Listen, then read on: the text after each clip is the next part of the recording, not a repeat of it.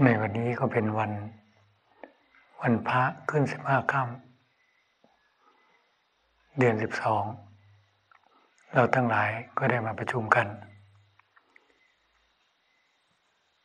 ซึ่งเป็นวันสุดท้ายของฤดูการถวายผ้ากฐิน ช่วงนี้ก็รู้สึกว่าอากาศก็เริ่มเย็น เข้าสู่ฤดูหนาว หลังจาก ฤดูการกระถิน ผ่านพ้นไปผ้าเราก็ตัดเย็บยอมผ้าเปลี่ยนบริการเป็นช่วงที่ จะเปลี่ยนบริการที่ชำรุดหรือว่าที่เก่า จะได้สะดวกในการที่จะใช้ในการประพฤติบัติธรรม หลาย ๆ ท่านทำธุระเสร็จก็จะแยกย้ายเปลี่ยนสถานที่ไปภาวนา ตามสถานที่ต่างๆ ตามภาคอีสานภาคเหนือ หรือภาคต่างๆ ตามความเหมาะสมตามแต่จริตนิสัย การเปลี่ยนสถานที่นั้น ก็เป็นการเปลี่ยนที่ภาวนา เพราะบางคนอยู่จำสาที่เดียวนานๆ อาจจะเกิดความจำเจ อาจจะเกิดความเคยชิน จิตไม่ค่อยกระตุ้นเตือนให้ภาวนา บางครั้งก็ต้องอาศัยสถานที่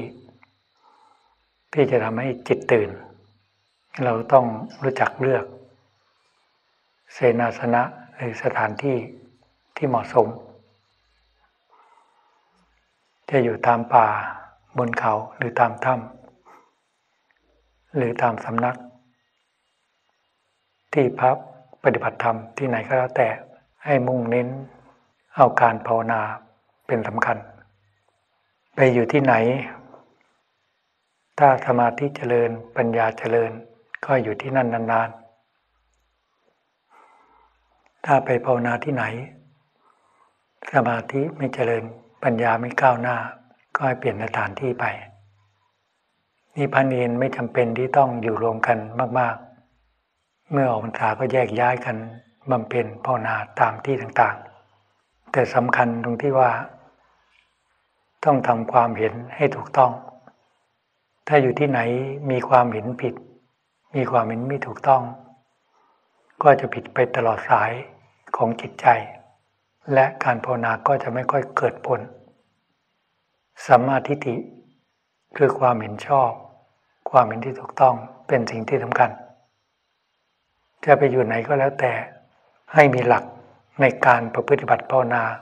ในจิตใจของเรา หลักง่ายๆก็ดูองค์สมเด็จพระสัมมาสัมพุทธเจ้าเป็นแบบอย่าง ดูปฏิปทาของครูบาอาจารย์เป็นแบบอย่าง ว่าท่านบำเพ็ญภาวนาเช่นไร ท่านสร้างบารมีมาเช่นไร จึงทำให้จิตบริสุทธิ์นี่คำสอนขององค์สมเด็จพระสัมมาสัมพุทธเจ้า สืบต่อกันมาถึงครูบาอาจารย์ของเรา ตั้งแต่หลวงปู่สาวหลวงปู่มั่นลงมาถึงหลวงพ่อชานี้แนวทางที่ถูกต้อง คือให้บำเพ็ญศีลสมาธิปัญญา เพื่อมีสติปัญญาที่จะรู้แจ้งในยสัตธรรมทั้งสี่ประการ ฟังดูเหมือนง่าย แต่บางที เราก็บกพร่องในศีล บกพร่องในสมาธิ บกพร่องในปัญญา จึงไม่สามารถที่จะรู้ธรรมเห็นธรรมหรือทำให้จิตใจเป็นธรรมได้ ศีล 227 หรือธรรมวินัย เป็นศีลของพระเรา การสำรวมพระปฏิโมกมีสติวินัยนั่นแหละคือศีล แต่ศีลจะเกิดขึ้นได้ก็แต่เมื่อจิตใจนี้เป็นศีล จิตใจจะเป็นศีลได้ ก็แต่เมื่อมีความเห็นที่ถูกต้อง ไม่มีเจตนาที่จะลุกล่วงละเมิดศีลน้อยใหญ่สำรวมจิตใจอยู่เสมอ ด้วยกำลังศีลจึงจะสามารถที่จะมาควบคุมที่จะสำรวมร่างกายให้สงบสำรวมวาจางเราให้สงบสิ่งหนึ่งพระเรามีมากข้อกว่า คารวาสคารวาสก็ศีลห้าเป็นปกติศีลแปดเป็นบางครั้ง แต่เราศีลสองยี่สิบเจ็ดมันละเอียด เพราะว่ากิเลสภายในจิตใจมันปรุงแต่งหลายสิ่งหลายอย่าง ในแต่ละขนาดจิตนี่สติวินัยจึงต้องละเอียด ที่จะรู้เท่าทัน ความคิดรู้เท่าทันอารมณ์ รู้เท่าทันกิเลส เราใช้ศีลมาควบคุมไว้ก่อนกายก็สงบวาจาของเราก็สงบกิเลส นั้นไม่ได้อยู่ที่รูปเสียงกลิ่นรสสัมผัส กิเลสไม่ได้อยู่ที่นั่นเลย รูปก็ไม่ใช่กิเลส เสียงก็ไม่ใช่กิเลสกลิ่นก็ไม่ใช่กิเลสรสสัมผัสก็ไม่ใช่กิเลสกิเลสไม่ได้อยู่ที่ตาหูจมูกลิ้นกาย ตาก็ไม่ใช่กิเลสหูจมูกลิ้นกายก็ไม่ใช่กิเลสกิเลสในจิตใจของสรรพสัตว์ทั้งหลาย ก็อยู่ที่ใจอยู่ที่จิต จิตที่มีความเห็นผิด หรือมีความเห็นที่ถูกต้อง กิเลสซึ่งครอบงำจิตใจของสัตว์ทั้งหลาย มานับภพนับชาติไม่ถ้วน กิเลสมาควบคุม ครอบงำจิตใจ มีความโลภครอบงำจิต มีความโกรธครอบงำจิต มีความยินดีในการทั้งหลายครอบงำจิต มีความหลงซึ่งยึดมั่นถือมั่นในร่างกายนี้ว่าเป็นตัวตนเรา มีความหลงยึดมั่นถือมั่น ในลมทั้งหลายทั้งปวง ว่าเป็นจิตใจของเราจึงขอให้เกิดความสุขความทุกข์เกิดขึ้นไปในจิตนี้ การที่จะมีสติมีปัญญา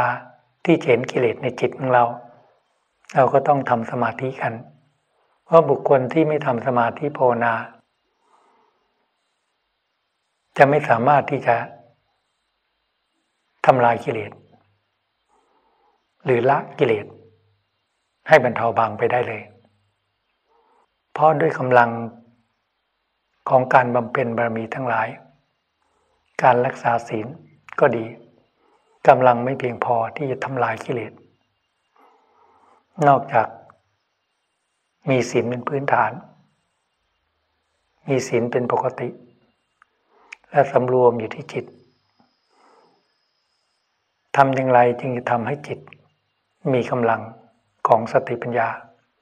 ทำอย่างไรจึงทำให้จิตสงบเป็นสมาธิ เพราะจิตนี้มีความหลง เมื่อขาดสติปัญญาที่จะคุมจิต จิตนี้จะวิ่งไปกับกระแสของความคิด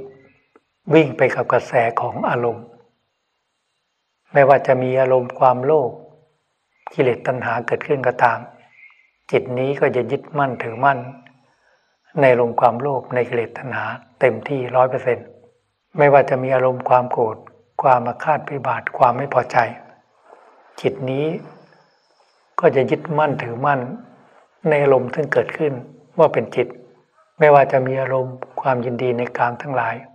คือความพอใจ ความไม่พอใจในรูปเสียงกิรสัมผัส จิตก็จะรู้สึก ตามอารมณ์นั้นที่เกิดขึ้น แล้วก็ยึดเป็นตัวเป็นตน เป็นจิต ที่มีความหลงที่ยึดมั่นถือมั่นในลมว่าเป็นจิต จิตนี้จึงกระทบความสุขและความทุกข์ อยู่ไม่มีที่สิ้นสุด บางทีเราคิดว่าเรารู้จักความโลภบางทีเราคิดว่าเรารู้จักความโกรธความมาคาดพยาบาทบางทีเราคิดว่าเรารู้จักกิเลสตัณหาความยินดีในกามทั้งหลาย แต่เมื่อเกิดขึ้นจริง ๆ คนทั้งหลายไม่สามารถจะรู้เท่าทันอารมณ์ได้เลย มีความโลภก็หลงไปกับความโลภมีความโกรธจิตก็หลงไปกับความโกรธ มีความยินดีในการทั้งหลาย จิตก็หลงไป เป็นเนื้อเดียวกัน เป็นอันหนึ่งเดียวกัน ไม่สามารถที่แยกจิตออกจากอารมณ์ได้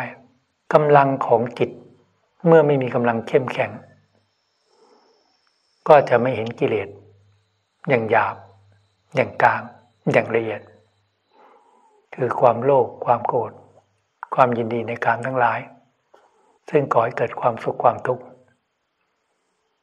จิตไม่เห็น ถ้าเราพอที่จะเห็นความทุกข์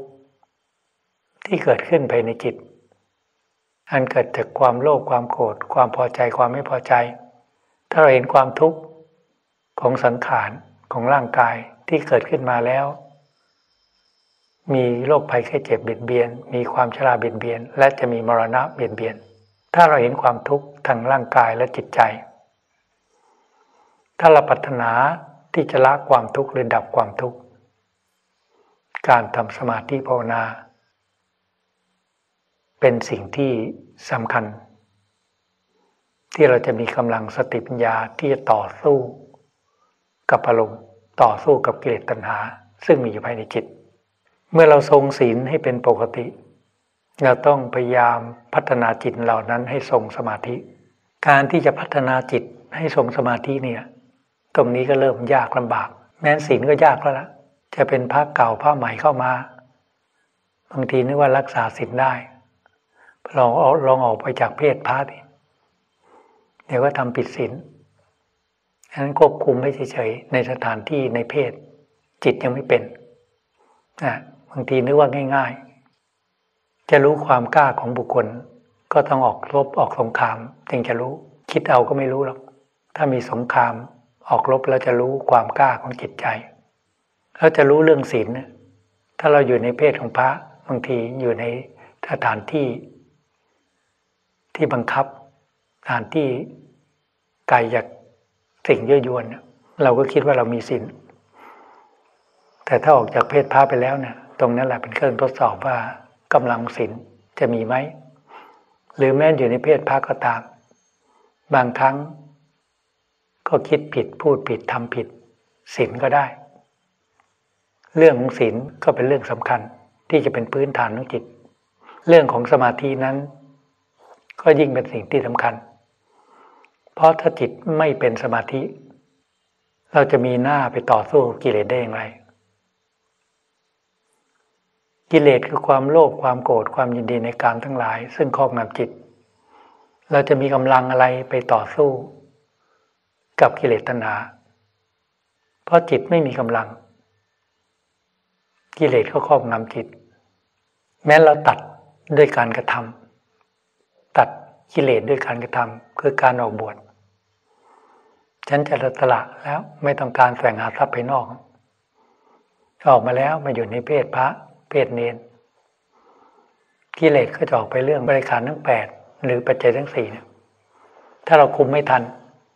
มันก็อยากได้ของใหม่ๆของดีๆ มีแล้วก็อยากได้อีก เนี่ยไม่ว่าบริการแปดหรือไปัจจัยทั้งสี่ก็อยากจะเปลี่ยน ยังไม่เก่าที่ก็เปลี่ยน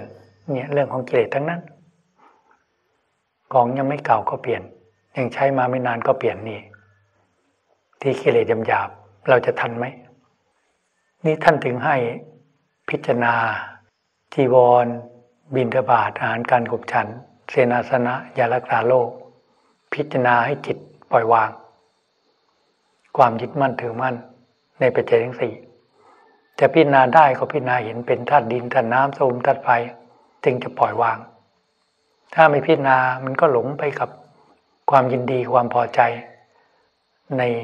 จีวรบินบาตเสนาสนะอยากตาโลก มันเกิดเกิดตัณหาหมดอยากได้จีวรเครื่องนุ่งห่มดีๆ อยากได้อาหารดีๆ ตามกิเลสตัณหา อยากได้รสชาติที่ดี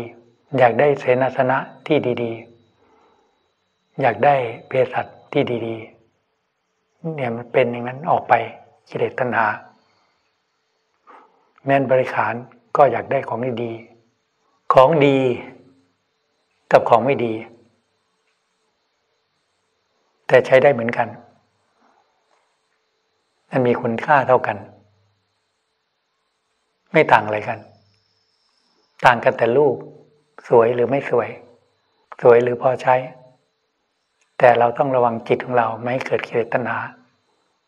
เพราะนั้นของดีของไม่ดี ถ้าใช้ประโยชน์ เหมือนกันก็ใช้ได้ มันเพียงแต่เป็นรูปที่สมมุติ มันไม่เที่ยง ไม่ใช่ตัวตน เรื่องของสมาธิเนี่ย ถ้าไม่มีอุบายปัญญาให้เกิดศรัทธา ในการกระทำความเพียรกิเลสก็ล่อลวงให้เราอ้างหนาวไปบ้าง พอฤดูฝนก็ฝนตกเฉิดแฉะไม่สะดวกในการภาวนา พอเข้าฤดูหนาว อากาศก็เย็นเกินไปบ้าง ฤดูร้อนก็ร้อนเกินไปบ้าง ไม่เหมาะการภาวนา ก็เลยไม่ภาวนาสักฤดูเลยเนี่ยกิเลสก็ฉลาดในการที่จะมาขัดขวางในการกระทำความเพียร ถ้าสติปัญญาไม่ทัน เราก็ไม่มีอุบายที่จะต่อสู้กับความขี้เกียจ เรื่องความขี้เกียจเป็นเรื่องของกิเลสทั้งหมด จะมาเกลี้ยกล่อมให้เกิดความขี้เกียจ ความท้อถอย ความท้อแท้ ถ้าผลิตอุบายปัญญาไม่ทัน ก็ต่อสู้ไม่ได้ ขันติคือความอดทน วิริยะคือความเพียรทำสองประการนี้สำคัญ สำหรับการทำสมาธิ ถ้าไม่มีความอดทน ไม่มีความเพียรก็ไม่มีทางพบความสงบเพราะถ้าเราไม่นั่งสมาธิไม่เดินจงกรมเดินนั่งน้อยเดินน้อย มันก็ไม่พบความสงบ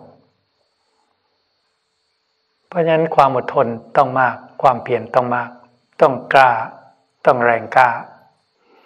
ในการที่จะปาลบความเพียรแม้แต่ขี้เกียจ เดินโกมนั่งสมาธิขี้เกียจนั่งสมาธิ ถ้ากำลังสติปัญญาเข้มแข็ง ก็จะรู้จักฝืน รู้จักบังคับในเบื้องต้น ถึงเวลาก็จะนั่งสมาธิ ถึงเวลาก็จะเดินโกมหน้าที่ของพระเรา การงานพระเราการเดินโกมนั่งสมาธิเนี่ยต้องทำให้เป็นนิสัยทำให้เคยชินทำทุกๆวัน ถึงเวลาก็ทำถึงเวลาตื่นนอนตีสามหรือจะตื่นก่อนนั่นก็ได้ ปกติก็ตีสามพอดีทำกิจแล้วส่วนตัวเสร็จก็มีแม้แต่ตื่นมาก็มีสติทำกิจแล้วส่วนตัวเสร็จก็เข้าทีนั่งสมาธิเดินกรมเนี่ยทำไปแบบที่เคยพูดให้ฟังเป็นประจำทำตลอดทั้งวันนะที่มีเวลาว่าง เนี่ยหน้าที่ เพราะถ้าไม่ทำจิตก็ฟุ้งซ่าน ฟุ้งซ่านนึกคิดปรุงแต่งก็ไม่ทันความคิดไม่ทันอารมณ์ปรุงแต่งเรื่องอดีตบ้างปรุงแต่งเรื่องอนาคตบ้าง เรื่องความปรุงแต่งเนี่ยก็สำคัญอันปรุงแต่งไปที่นู่นนี่ก็จะพากายไปแล้วเรื่องความคิดไปก่อนอันไปก่อน ทีมันคนไปตั้งแต่ในมรรษาบางคนไปไม่ทันเกียรติกตินเนี่ยความคิดปรุงแต่งก็พากายไปนั่นแหละแต่เราต้องมีสติปัญญาให้รู้เท่าทัน ถึงเวลาก็ไปก็ไป ยังไม่ถึงเวลาก็รู้จักฝืนรู้จักควบคุม รู้จักความพอดี สมัยก่อนครูบาอาจารย์ก็ฝึกกัน อยากจะไปมากๆยังไม่ให้มันไป ถ้าไม่นึกอยากไปแล้วก็ให้ไปมันแก้กันไปแก้กันมาทุกถึงทุกอย่างมันต้องแก้ทุกถึงทุกอย่างก็เรียกทวนกระแสเพราะกระแสกิเลสจะออกไปหมดมันปรุงแต่งพุ่งสั้นคิดห่วงคิดกังวลเรื่องนู้นเรื่องนี้ทำ เป็นเรื่องที่จะสร้างอารมณ์ที่จะทำลายความสงบของจิต ให้มีความกังวลใจสาพัดเรื่องสาพัดอยากจนจิตไม่สงบ แล้วจิตก็ปรุงแต่งไป ตามกิเลสตัณหาห่วง ห่วงนู่นห่วงนี่ห่วงทุกสิ่งทุกอย่าง นั่นแหละ กิเลสก็ถ้าเป็นตัวเป็นตนนะกิเลสก็มีอุบายวางแผนสำเร็จที่จะให้ให้พวกเรามีความกังวลใจในเรื่องต่างๆ แล้วไม่รู้จักปล่อยวาง ก็ยึดมั่นถือมั่นห่วง ห่วงญาติพี่น้องห่วงพ่อแม่ ห่วงหน้าที่การงานกังวลเรื่องโน้นเรื่องนี้ห่วงไม่หมดนี่แหละ ความนึกคิดปรุงแต่งที่ปรุงแต่งขึ้นมา แล้วจิตยึดมั่นถือมั่นว่าเป็นจิต ความคิดเรื่องดีก็คิดแล้วคิดอีก ไม่จบไม่สิ้น จิตก็วิ่งตามความคิดเรื่องอดีต ไม่จบไม่สิ้น ไม่มีกำลังที่จะตัดที่จะละ หรือปรุงแต่งเรื่องอนาคต ก็ต้องมีอุบายปัญญา ปรุงแต่งพอสมควรคิดได้ คิดถึงวันพรุ่งนี้อาทิตย์หน้าเดือนหน้าคิดได้ แต่อย่าให้มันอยู่กับความคิดนาน ให้คิดแล้วปล่อยวางตัด วางจุดมุ่งหมาย วางความนึกคิดที่วางแผน แล้วกลับมาอยู่ปัจจุบันว่าการแก้กิเลสต้องแก้ในปัจจุบัน จะละกิเลสก็ละปัจจุบัน ต้องมีสติมีปัญญารู้เท่าทัน กิเลสอยู่ที่จิต จะดับกิเลสก็ดับที่จิต จิตนี้เป็นสนามรบของกิเลสกับธรรม ที่จะต่อสู้กัน แต่เมื่อจิตไม่อยู่ณปัจจุบัน วิ่งตามความคิดวิ่งตามอารมณ์ก็ตกเป็นทาสของอารมณ์ตกเป็นทาสของกิเลสมา สร้างภพสร้างชาติ นับภพนับชาติไม่ถ้วน เนี่ยไม่ทันต่อกิเลสตัณหาที่ปรุงแต่งออกไป เพราะฉะนั้นเมื่อมีกำลังศีลทรงตัวไม่ต้องกังวลอะไร ตัดความวนทั้งหลายทั้งปวงด้วยสมาธิปาลบความเพียรนั่งสมาธิเดินงกรมจากจิตที่มีความคิดฟุ้งซ่าน จากจิตที่มีความกังวล จากจิตที่ไม่มีความสงบถ้าเรามีสติ กำหนดอยู่กับความฐาน ที่ราบริกรรมภาวนาทำให้มากเจริญให้มาก คือทำบ่อยๆ ความฟุ้งซ่านต่างๆ ก็จะน้อยลงไป ความนึกคิดปรุงแต่ง ในเรื่องอดีตอนาคตก็จะหายไป เมื่อสติจดจ่ออยู่ที่ลมหายใจ อยู่ที่คำบริกรรมภาวนาพุทโธ ฝึกอยู่ตรงเนี้ยจนสติสมาธิ เกิดขึ้น สติต่อเนื่องสมาธิเกิดขึ้น จิตวางความนึกคิดปรุงแต่งทั้งหลาย ความสงบของจิตก็ค่อย ๆ เกิดขึ้นกำหนดลมจากลมหยาบก็ลมละเอียดกำหนดพุทโธพุทโธความคิดต่างๆ ก็หายไป กายเบาจิตเบามีปิติเข้าสู่ความสงบของปิติ ก็ฝึกอยู่ตรงเนี้ยว่างก็นั่งสมาธิว่างก็เดินยังกรมสติสมาธิละเอียดขึ้น กายเบาจิตเบามีปิติสงบละเอียดขึ้นก็เข้าสู่ความสุขของสมาธิ วางปิติเข้าสู่ความสุข ก็ทำอยู่ตรงเนี้ยกำหนดสติทำสมาธิภาวนา เกิดปิติเกิดความสุข เกิดความชำนาญมากขึ้น จิตวะละวางความสุขเข้าสู่เบกขาของสมาธิจิตเป็นหนึ่ง เป็นเอกตาลมเอกตาจิตมีแต่ความสุขเยือกเย็นภายในจิต เพราะความคิดปุ้งซ่านหายไปหมด ความนึกคิดปรุงแต่งหายไปหมด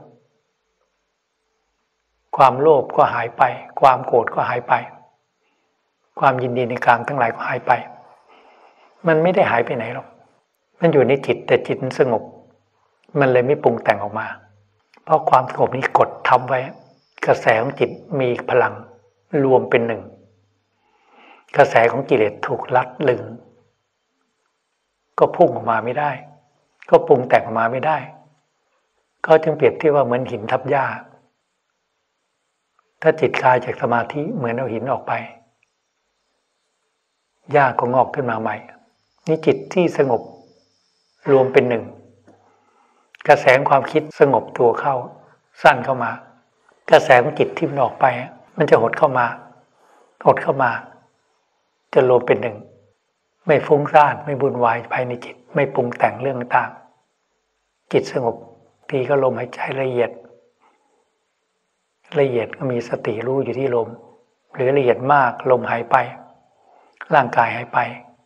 ก็อยู่ในความสงบของจิต หรือกำหนดพุทโธพุทโธ แม้แต่ความนึกคิดที่คิดพุทโธก็จะหายไป จิตก็เข้าสู่ความสงบนั่นจิตเป็นหนึ่ง จิตรวมเป็นสมาธิ ไม่มีความโลภไม่มีความโกรธไม่มีความหลง มันสงบระงับไปด้วยกัน ในขณะที่ทรงสมาธิ แต่ไม่ใช่ว่ากิเลสมันหมด ผู้บำเพ็ญฌานสมาบัติ เมื่อทำจิตให้มีความสงบ และทรงสมาธิได้จึงนึกว่าไม่มีกิเลสจิตสบายสงบเยือกเย็น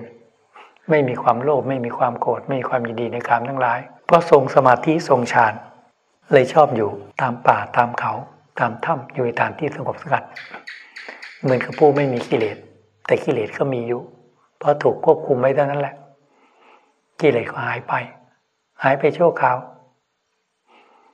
ถ้าสติสมาธิอ่อนเมื่อไหร่กิเลสก็โผล่ขึ้นมา เพราะไม่ได้ทำลาย ไม่ได้ขุดล่างถอนโคน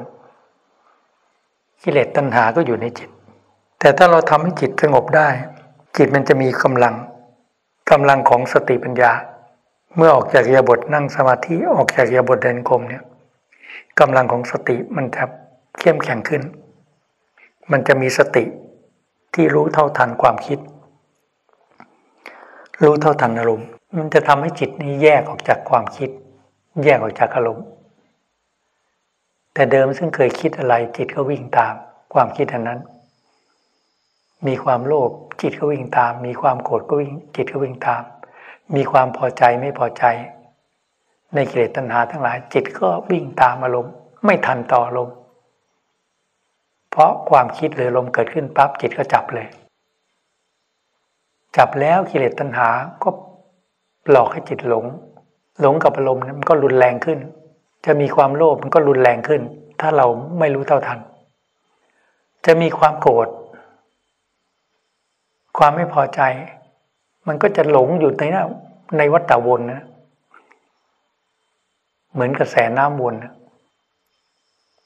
จิตมันก็จะหลงอยู่กับอารมณ์ความโกรธความไม่พอใจ แล้วจะรุนแรงขึ้นเหมือนพายุที่มันหมุนเกี่ยวมาหมุนตัวมา มันยิ่งหมุนรอบมากเท่าไหร่ก็ยิ่งรุนแรงขึ้น อารมณ์ซึ่งเกิดขึ้นในจิต มันจะพัดจิต ให้รุนแรงขึ้นหมุนขึ้นหมุนขึ้น เช่นลมความโกรธ ความไม่พอใจท่านเกิดขึ้น ถ้าเราไม่มีสติปัญญายับยั้งจะรุนแรงขึ้นเรื่อยๆเรื่อยๆจนกระทั่งระเบิดได้ ระเบิดมาทางวาจา ระเบิดมาทางการกระทำทางกาย นั่นแหละ ติดตกเป็นธาตุของอารมณ์ และผู้ที่หลงอารมณ์ก็ไม่รู้ ว่าจิตนั้นกำลังตกเป็นธาตุของอารมณ์มีความยินดีมีความพอใจในอารมณ์นั้น ว่านี่แหละคือจิตของเรา นี่แหละกิเลสตัณหามันครอบงำถึงขนาดนั้น เรายังไม่รู้สิ่งที่ถูกสิ่งที่ผิด แม้อารมณ์รุนแรงขนาดไหน เราก็ไม่รู้ว่า เราตกเป็นทาสของอารมณ์มันย้อมจิตเป็นเนื้อเดียวกันจนเราคิดว่าไอ้ความโกรธนี่มันเป็นของดี ความไม่พอใจเป็นของดี เลอเลิศนี่แหละ มันเสกสรรปัญญาให้จิต หลง เห็นกงจักเป็นดอกบัว มันได้ไม่ได้วิเศษวิโสอะไร แต่จิตเราหลงจนไม่รู้จักว่า อารมณ์นั้นน่ะ ความโลภความโกรธที่มันครอบงำจิต เราไปยกยอว่าถูกต้องดีแล้ว ใช่ จิตอยู่กับกิเลสก็ไม่เห็นกิเลสไม่เห็นความโลภเป็นทุกข์ไม่เห็นความโกรธเป็นทุกข์แม้จะออกมาทางวาจาหรือทางกาย ก็ไม่เห็นมันเป็นกิเลสเพราะเราเป็นอยู่ เป็นอยู่ที่จิต เพราะอะไรเพราะขาดสติสมาธิปัญญา จึงไม่เห็นจิต แยกออกจากลม เมื่อไม่เห็นจิตแยกจากลมก็จะตกเป็นธาตุของลมไปตลอดกาลนาน แล้วกิเลสก็ยังย้อมจิตได้ให้มีความพอใจ ขนาดทั้งทั้งที่ว่า อารมณ์กิเลสตัณหาเป็นความร้อน ซึ่งแผดเผาจิต จิตก็ยัง ที่มีกิเลสก็หลอกให้ว่าเป็นสิ่งที่ดี ควรที่จะมีอยู่บ่อยๆ ควรที่เก็บไว้ ควรรักษาไว้ ไม่ควรละ ไม่ควรปล่อยวางนั่นอำนาจของกิเลสตัณหา มันเกรียงไกรการปฏิบัติจึงต้องมีเป้าหมาย การจะต่อสู้กับข้าศึกศัตรูก็ต้องมีเป้าหมาย มีจุดประสงค์ เราจะต่อสู้กับอะไร ถ้าเราปรารถนาที่จะละ กิเลสคือความโลภความโกรธความหลง เพื่อความบนทุกข์ เราต้องรู้จักหน้าตาของกิเลส หน้าตาของศัตรูเราจะไปทำลายใคร จะไปต่อสู้กับศัตรูที่ไหน ถ้าเราไม่เห็นกิเลส เราก็จะเป็นอันหนึ่งเดียวกันกับกิเลสโดยไม่รู้ตัว ต้องรู้ว่าความโลภเป็นกิเลสเราจะละให้บางลงไป ให้น้อยลงไป หรือทำลายมันสิ้นไปจากจิต เราต้องรู้ว่าอารมณ์ความโกรธเป็นกิเลส เราจะละให้น้อยลงไป หรือทำลายให้มันสิ้นจากจิตของเรา เราต้องรู้ว่าความยินดีในกามทั้งหลาย คือความพอใจความไม่พอใจ ในรูปเสียงกิรสสัมผัสเป็นกิเลส เราจะละให้น้อยลงไป เราจะปล่อยวางทำลายสิ้นจากใจ ถ้ารู้จักเป้าหมาย ว่าเราจะไปทำลายกิเลสต่อสู้กิเลส เราก็ต้องซ่องสมกำลัง เรามีอะไรที่จะไปต่อสู้ไปทำลายความโลภความโกรธความหลงความทุกข์มีกำลังของศีลก็พอควบคุมกายวาจาให้สงบได้ ไม่ให้กิเลสใช้ให้พูดในสิ่งที่ไม่ดี ใช้กระทำสิ่งที่ไม่ดี ถ้ายังพอควบคุมได้ ก็พอควบคุมได้ แต่กิเลสถ้าครอบงำจิตได้บางที แม้นมีศีลก็ตาม ก็ออกมาทางวาจาออกมาทางการกระทำ เนี่ยไม่ทัน ถ้าจะให้ทันต่อลมทันต่อกิเลสต้องทำสมาธิทำจนจิตเป็นหนึ่ง และเห็นจิตแยกออกจากอารมณ์ แต่เดิมไม่เห็น เพราะว่าจิตไม่มีสติปัญญา จิตไม่มีกำลัง เลยไม่เห็นอาการของจิต เมื่อสติสมาธิทรงตัวอยู่ในระดับหนึ่ง อาจจะเป็นชั่วระยะเวลาสั้น ๆก็ตาม แต่เมื่อตาเห็นรูปหูดินเสียง สติสมาธิที่พอมีอยู่ภายในจิต พอเป็นทุนอยู่ จะเห็นอาการของจิตที่เคลื่อนออกจากจิต คือความพอใจ ความไม่พอใจ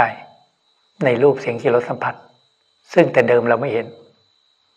เพราะจิตเราไม่มีสติปัญญา แต่เดิมเราเคยว่า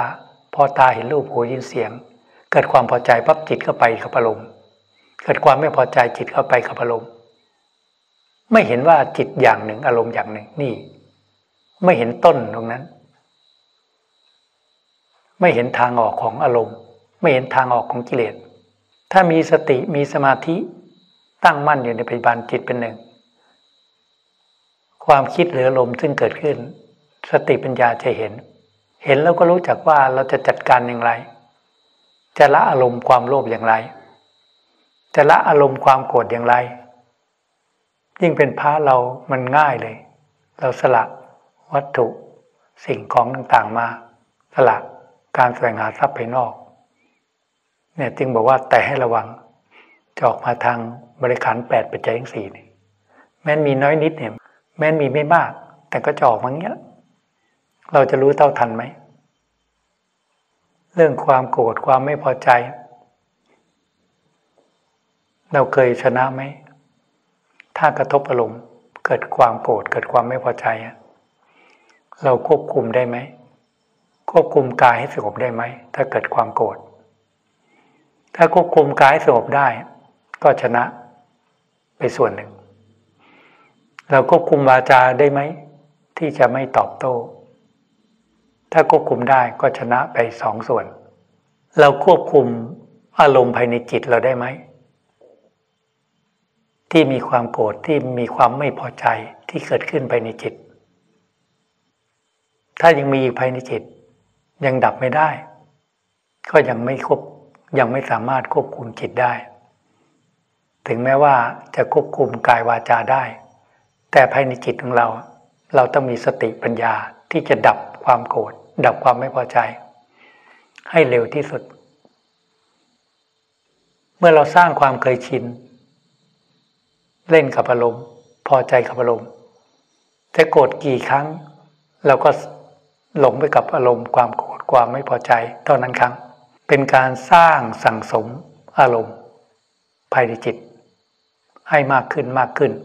ให้รุนแรงขึ้น แต่นักปฏิบัติเขาทวนกระแส เขาละให้น้อยลง เมื่อมีความโกรธมีความไม่พอใจเกิดขึ้น เขาละ เขาไม่เก็บไว้ เขาละให้น้อยลง สร้างนิสัยสร้างความเคยชินในการทำลายกิเลส ถึงแม้ว่าละในวันนี้กิเลสไม่สิ้นไปจากจิตก็ตาม แต่พรุ่งนี้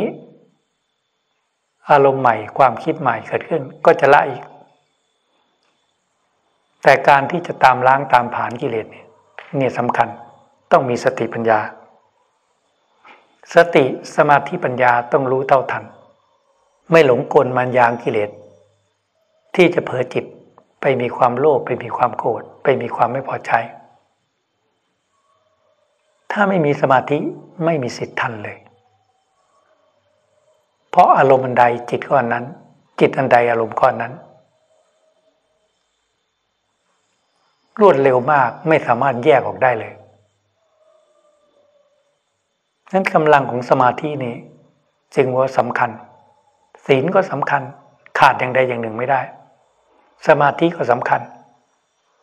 ปัญญาก็สำคัญ ขาดอย่างใดอย่างหนึ่งไม่ได้เลย ต้องประกอบไปด้วยสามสิ่งนี้สามอย่างนี้ อยู่ที่จิต จึงจะสมควรที่จะเป็นคู่ต่อกรของกิเลสตัณหา คือความโลภความโกรธความหลงกำลังของจิตจึงจะสามารถต่อสู้ได้พึงจะไม่เพียงพัมต่อกิเลสตัณหา มีสติอย่างเดียว กิเลสก็ยังซ้อมได้ มีสมาธิอย่างเดียว กิเลสก็ยังหลอกให้หลงได้ มีสติความฉลาด แต่ไม่มีศีลไม่มีสมาธิ กิเลสก็ครอบงำได้นั่นกำลังของศีลพอเป็นพื้นฐาน ในการควบคุมกายวาจา ด้วยการสำรวมพระปฏิโมกสำรวมศีลสมาธิ ต้องหาบายเกิดศรัทธาความเพียรทำจนจิตสงบ สงบแล้ว ก็ทำให้ต่อเนื่อง สงบในยบทนั่งสมาธิ สงบในยบทเดินยังกรมฝึกจนกระทั่งออกจากยบทนั่งสมาธิ จะยืนเดินนั่งทำไรจิตก็ต่อเนื่อง ความสงบก็ยาวขึ้น สติก็มันคงขึ้นต่อเนื่อง มันจะเผลอสติกำลังสมาธิจอดลงก็เข้าที่นั่งสมาธิ เข้าที่เดินกรมอีก สติสมาธิก็แนบแน่นขึ้นมาอีก อยู่ในบทเดินกรมก็ให้จิตสงบ ออกจากยาบทเดินกรมจิตก็สงบ สติปัญญาก็จะกวาด กวาดดูภายในจิต สติปัญญาเนี่ยจะดูภายในจิต ดูเข้าไปในจิต ว่าความสกปรกของความโลภความโกรธเกลียดตัณหาที่มีอยู่อยู่ตรงไหนงั้นแล้วกวาดสายตาเนี่ยมองหาวัตถุสิ่งของที่อยู่ข้างหน้า สติปัญญานี้ก็เข้าไปดูที่จิต ความโลภมีไหม ความโกรธมีไหม กิเลสตัณหามีหรือไม่ เมื่อลมความโลภเกิดขึ้นโผล่ขึ้นมา สติสมาธิซึ่งทรงตัวอยู่ณปัจจุบัน ก็เห็นโผล่ขึ้นมาออกจากจิต สติปัญญาก็ทำลายละออกไป เมื่อเราทรงสมาธิได้สติอยู่กับจิต กิเลสมันโผล่มาก็เห็นหมด ความโกรธความไม่พอใจโผล่ขึ้นมาสติก็เห็นปัญญาก็ซัดแล้วทำลาย ถ้ามีมีดอยู่กับมือสติปัญญาเหมือนมีด สัตว์ร้ายสารพิษโผล่มาฟันขาดกระเด็นทีเดียวนั่นแหละ อันนี้หมายถึงศัตรูกิเลสภายในจิตมันเป็นแบบนั้นสติปัญญาว่องไว ความโกรธความไม่พอใจโผล่ขึ้น สติปัญญาตัด ดับเลย ในขณะจิตนั้นเนี่ยความแข็งคล่องชำนาญของสติปัญญา เพราะสติสมาธิ อยู่กับจิต อารมณ์หรือกิเลสมันเป็นอาการวิจิต แล้วเรามีเป้าหมายที่จะทำลายเนี่ยจิตเมื่อแยกจากลมณ์มันมีกำลังสติปัญญาคอยคุ้มครอง รักษาไม่ให้มีอะไรมาทำลายจิต สติปัญญาเป็นองค์ลักษณ์พิทักษ์จิตในเบื้องต้น แล้วกิเลสซึ่งเคยโผล่ขึ้นมาเคยหลอกลวง ให้จิตหลงไปกับกิเลสตัณหา ก็จะถูกทำลาย ลงทีเล็กทีน้อย ละไปเรื่อยๆ สติสมาธิก็จะทรงตัวจากนั่งสงบ นั่งสมาธิสงบเดินกรมก็สงบ ออกจากยาบทนั่งออกจากยาบทเดินก็สงบ ยืนเดินนั่ง สงบหมดถ้าสงบหมดแล้วกิเลสก็กลัว ยืนก็สงบ นั่งก็สงบ เดินก็สงบทำอะไรก็สงบกิเลสกลัวไงโผล่มาก็เสร็จความโลภเกิดขึ้นมาก็เสร็จอีก ความโกรธ โผล่ขึ้นมาก็เสร็จ ความพอใจความไม่พอใจโผล่ขึ้นมา สติปัญญาฟันขาดหมด ยับ ละวาง อารมณ์ ความโลภความโกรธความพอใจความไม่พอใจ เพราะจิต สติปัญญาข่มเห็นความไม่เที่ยงปล่อยวาง นี่แหละและสมาธินี่ต้องทำให้ได้ เดินกลมนั่งสมาธิ เดินกลมนั่งสมาธิทำอยู่นั่นเอาให้มันสงบ สงบแล้วมันกายเบาจิตเบามีปิติ มีความสุข มีความสงบเยือกเย็น จิตเป็นเวขาเมื่อไหร่แล้วก็ เอาเข้าไปเผชิญหน้ากับกิเลสตัณหาคู่ต่อสู้ ยกทัพไปตีฆ่าศึกศัตรูที่มันอยู่ในจิต นั่นแหละ สติปัญญาจึงจะทัน แล้วก็ล้างกิเลสไปเรื่อยทำความสะอาดจิตใจไปเรื่อยละความโลภให้น้อยลงไปละความโกรธให้มันน้อยลงไป ละความทุกข์ให้น้อยลงไป ถ้าสติสมาธิปัญญาไม่ทัน ถึงว่าหลงไปกับกิเลสหมด มีอารมณ์กิเลสตัณหาครอบงำจิตก็ไม่รู้จักแล้วเพราะจิตนั้นตกเป็นทาสของอารมณ์ ตกเป็นทาสของกิเลสความคิดผิด ก็นึกว่ามันถูกคำพูดผิดก็นึกว่าพูดถูก การกระทำผิดก็คิดว่าการกระทำถูก นี่กิเลสมันย้อมหมด มันครอบงำหมดเลย ครอบงำที่จิต แม้นความคิดที่ผิด กิเลสก็จะบอกว่ามันถูกต้อง แม้นพูดผิด กิเลสก็จะพูดถูกแล้ว แม้นกระทำผิด กิเลสก็ทำถูกแล้ว นั่นแหละ จิตตกเป็นทาสของกิเลส ถ้าไม่มีสติปัญญามาช่วย จิตไม่สามารถจะรอดพ้นจากเงื้อมมือของกิเลสตัณหาได้หรอก ไม่สามารถที่จะช่วยออกมาจากกิเลสตัณหาได้ ไม่สามารถที่ทำให้จิตเป็นอิสระมาได้ ถ้าเราจะช่วยตัวประกัน หรือคือจิตที่กิเลสตัณหายึดไว้เนี่ย เราก็ต้องมันเป็นศีลสมาธิปัญญา แล้วก็ใช้สติปัญญานี้ พิจารณาละความโลภความโกรธความทุกข์ออกจากจิตไปเรื่อย ๆ กิเลสมีกำลังมาก เราก็ต้อง เสริมสร้างกำลังศีลสติศีลสมาธิปัญญาให้เข้มแข็งมากขึ้น มากจนเหนือกิเลส ถ้าไม่มีกำลังเหนือกิเลสก็สู้กิเลสไม่ได้ จะสู้กิเลสได้กำลังของอริยมรรคคือศีลสมาธิปัญญานี้ต้องเข้มแข็ง กิเลสคือความโลภความโกรธความหลงจึงจะอ่อนตัว ถ้าไม่เข้มแข็งศีลสมาธิปัญญาไม่เข้มแข็งกิเลส ความโลภความโกรธความหลงเนี่ยจะมีอำนาจมาก มีกำลังมากครอบงำจิต ของสรรพสัตว์ทั้งหลาย ทั่วแดนโลกธาตุนี่แหละ ตกเป็นธาตุของลมตกเป็นธาตุของกิเลสตลอดกาลเราจะมาปฏิวัติ จะต่อสู้กับกิเลสซึ่งอยู่ในจิตของเรา ไม่ต้องไปต่อสู้ใครที่ไหน ในโลกนี้ศัตรูคือความโลภ ศัตรูคือความโกรธศัตรูคือความยินดีในการทั้งหลาย เราจะเข้าไปทำลายได้อย่างไร เราจะละได้ยังไง เราจะต่อกรกับกิเลสตัณหาได้ยังไง ถ้าสิ่งก็ไม่ปกติ สมาธิก็ไม่มี ปัญญาก็ไม่มีเขาจะสู้ได้ยังไง ศีลต้องเป็นปกติ สมาธิต้องทำ มีความอดทนมีความเพียรทำให้เกิดขึ้น แล้วใช้สติปัญญา เข้าไปทำลายกิเลสอย่าปล่อยให้กิเลสคลองจิต กิเลสอยู่ที่จิต จะดับกิเลสก็ดับที่จิต มีความโลภเกิดขึ้นก็ละไปละให้น้อยไปเรื่อยจนหมดนั่นแหละมีความโกรธมีความไม่พอใจ ก็ละไปเรื่อยจนหมด มีความยินดีในการทั้งหลายก็ละไปเรื่อยมันจนหมด มันมีมากอยู่ในจิตกิเลสก็ให้รู้ มีน้อยลงก็ให้รู้ หมดไปก็ให้รู้ ให้รู้ด้วยการปฏิบัติ ให้รู้ภายในจิตของเรา เราบวชกันมาเนี่ย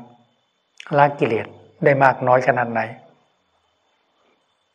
ที่อยู่กันมา ความโลภหมดหรือยัง ความโกรธหมดหรือยัง ความยินดีกามทั้งหลายหมดหรือยัง ไม่หมดแล้วเราจะนิ่งนอนใจทำไม คิดว่าจะมีชีวิตอยู่หลายหมื่นปีหรือไง ชีวิตของคนเรา มีอายุขัยซึ่งสั้นนักจะหมดลมเมื่อไหร่ก็ไม่รู้ พิจารณามรณานุสติ อย่าประมาททำความเพียรทุกๆวัน พื่อแผดเผากิเลสให้มันน้อยลงไป ไม่ใช่ว่าในทุกๆวัน ให้กิเลสมันแผดเผาจิตใจของเรา ให้ความโลภความโกรธความหลงแผดเผาจิตใจของเรา ให้มีความทุกข์ให้มีความเล่าร้อนอยู่ตลอดทั้งวันทั้งคืนเราต้องทำความเพียรแผดเผากิเลสให้มันออกไปจากจิตใจของเรา เพราะฉะนั้นให้เราทั้งหลายอย่าประมาท หาบายให้เกิดศรัทธาในการกระทำความเพียรในทุกๆวัน ต้องผลิตอุบายปัญญาที่จะต่อสู้กิเลสปาลบความเปลี่ยนจะเปลี่ยนสถานที่ไปที่ไหนก็แล้วแต่ให้ภาวนาภาวนาไปจะเปลี่ยนสถานที่ก็เปลี่ยนแต่สมมุติ เพื่อการประพฤติบัติภาวนา เปลี่ยนไปแล้วต้องภาวนาให้มากขึ้น ไม่ใช่น้อยลง ต้องมากขึ้นเรื่อยๆ ต้องหาปฏิปทาที่สม่ำเสมอให้ได้ทำความเพียรขนาดไหนกิเลสจึงจะกลัวทำความเพียรขนาดไหนจึงจะละกิเลสได้นั่นแหละ หาให้พบ ต้องหาให้พบมันก็จะรู้จักปฏิปทาของเราเองว่าจำวัดขนาดไหนพอดี ฉันประทานขนาดไหนพอดีทำความเพียรขนาดไหน จึงจะทำลายกิเลสได้เนี่ยแล้วก็ทรงปฏิปทาให้สม่ำเสมอ กวาดล้างทำลายกิเลสไปเรื่อย ๆ หน้าที่ของเราคือทำลายกิเลสให้มันน้อยลง น้อยลง น้อยลง น้อยลงไปเรื่อยๆ ดูที่ว่า กิเลสจะหมดก่อน ที่ลมหายใจเราจะหมด หรือลมหายใจเราจะหมดก่อน ที่กิเลสจะหมด ในวันนี้ก็ให้ความคิดเห็นในพวกเราพอสมควร ก็ขอยุติที่เพียงเท่านี้ธรรมยังโอวาทกถาสาธุกรังทธามะเสสาธุสา